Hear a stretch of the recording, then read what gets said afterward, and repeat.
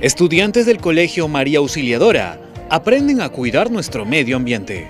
En una campaña de sensibilización a las nuevas generaciones, la Comuna Edil visita más colegios para despertar en nuestros chicos el respeto y amor por la naturaleza.